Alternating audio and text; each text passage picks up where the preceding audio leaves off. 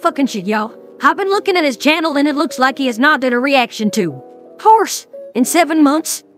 Wait, didn't you see a similar sentence a year ago? Um, yes, but still, we need to get the fuck back to his channel now, Spike. Ah, finally, after a prolonged period, I am once again participating in this reaction. The last instance being on Applejack's Day Off in July of the prior year. Booyah!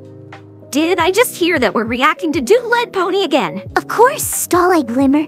We are definitely revisiting this after quite a while. Last time was Spice Up Your Life, and now it's the next episode of season 6. You read my mind, Rary, hee hee. But yes, it's now the turn of Horse, Season 6, Episode 13, Stranger Than Fanfiction. Well, hello there. This is the episode I attended and went to the Daring Do convention with Remy. Uh, I mean, Quibble Pants. Oops, got mixed up with the Patton Oswalt roles. Mistakes happen. Mistakes happen, even when you can see the future. And how will he be able to poke fun at this episode, if I may inquire, Twilight? Let's find out, Starlight, because we are returning to his comedy video right here, right now, so let's go!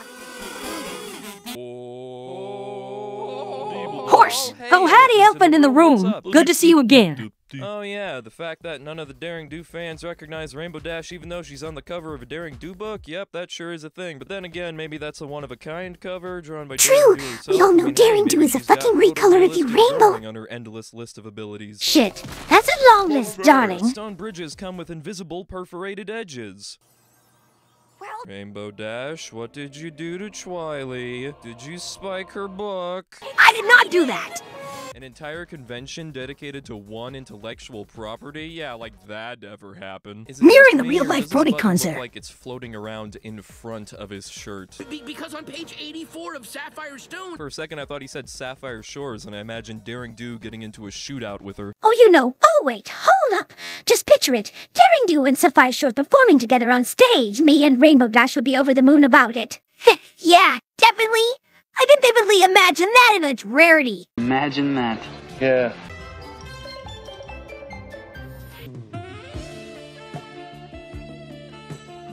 Nah, Ruh-roh, Apple Dash is way better than this one, y'all. Yeah, Oh that looks very familiar. Daring Do Deluxe bo- body bondage bondage body pillow. Okay, yeah. I know you, You know, for authentic, but That kids. is, that is disconcertingly on the nose. save me from the dark. Geez, seen body pillows in a children's suit with talking magical ponies like us? That's quite a statement. Typically, we see body pillows adorned with anime characters, but one with Daring Do is slightly unsettling for me. Who knows what oddballs might be into that? Like that guy. Okay, I actually went to a convention recently, and this is an accurate depiction of the staff at local businesses. Or heck, even every single thing, I'm worker in the beverage industry across the globe. To acknowledge them. Jar Jar Binks is a lie. Kylo Ren caused the Cuban Stop! Missile Crisis. He's unwilling to have a conversation No about the idea Star Wars prequels. these carrots. She's bored, some drama happens, and then she's happy about it. Sadism confirmed. Keemstar confirmed. Kulikon. The amulet of what? The amulet of Kulikon. Coolio? The amulet of Coolio, uh, taken by Cheese Sandwich to make a great parody song. That that amulet of Coolio. If I give it try. Yes! The animators really love this body pillow gag. I just That's noticed the convention queer. bracelets. Nice touch. Oh wow, they actually painted their body to match? I mean, who would actually do that? Oh. Yeah, these people would do that oh. obviously, darling. Drop from the top of a waterfall. Uh, who let the analyst into the convention? Uh. Of course he is. He's also over there, over 10 out of the 10 best cosplay. Derpy is best doctor cover on cosplayer. what? What? Where did these guys come from? So you came up with this overcomplicated plot to lure her into the jungle and exchange it for us. I wouldn't call it overcomplicated. Yeah, it's literally just a lure. They do this in fishing, for Pete's sake. Point taken. Hilarious joke. Let Daring Do rescue these two.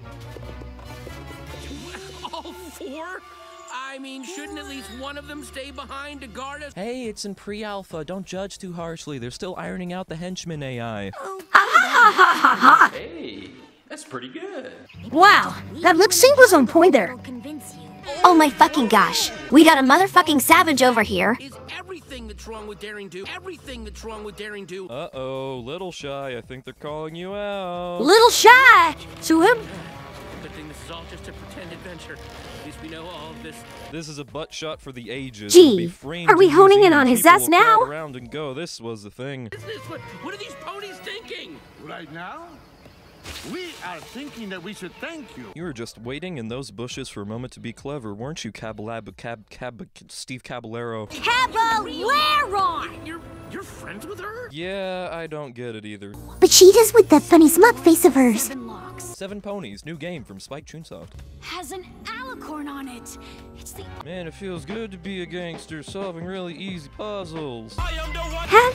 He's totally owning the slug game. Sided chest of Chicomoztoc. Seven sides, that's really impressive. I mean, drawing heptagons is really hard, man, so building that thing must have been tough. Yeah, it's tough. Kyle, I couldn't agree with you more.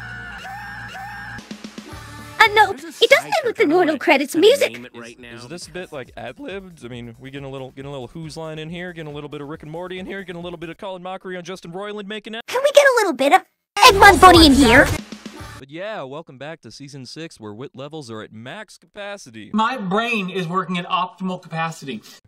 I really like this episode. And that was Horse Stranger Than Fanfiction. Oh, that roasted couple is my favorite part from that. I get zero fucks from that, yo. I had a great time watching that video. It definitely brightened my day. Legends say that the barista pony is still stuck behind the counter at the cafe, looking like she's counting down the minutes until her shift ends. But seriously, I love how he goes off at the episodes with his silly voice. It's always a hoot listening to him make jokes about the episodes with his goofy voice. Absolutely. Indeed, tomorrow's video will be an even more entertaining thing of episode poking Rocky to by Little Shy.